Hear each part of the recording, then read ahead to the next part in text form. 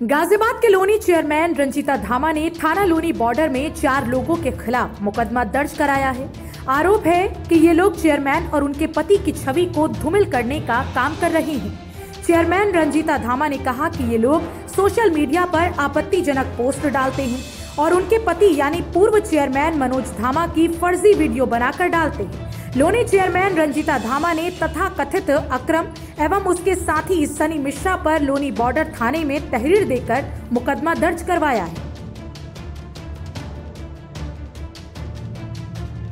आपको बता दें कि अक्रम और सन्नी मिश्रा समेत उसके दो साथी जिनका नाम विशाल और सुनील फौजी है उन्होंने मिलकर वर्तमान चेयरमैन रंजीता धामा की आपत्तिजनक पोस्टर का बोर्ड लगाकर प्रचार करने का कार्य किया एवं चेयरमैन रंजीता धामा की बढ़ती लोकप्रियता को भी गिराने का कार्य किया।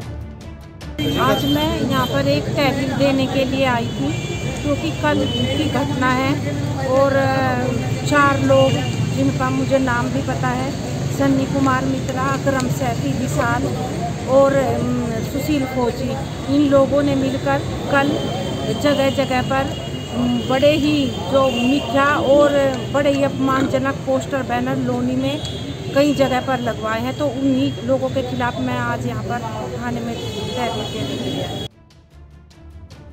फ़िलहाल पुलिस ने मामला दर्ज कर लिया है और आगे की कार्रवाई शुरू कर दी है। अब देखना लाजमी होगा कि पुलिस इस मामले में कब तक कार्रवाई करती है और क्या कार्रवाई करती है।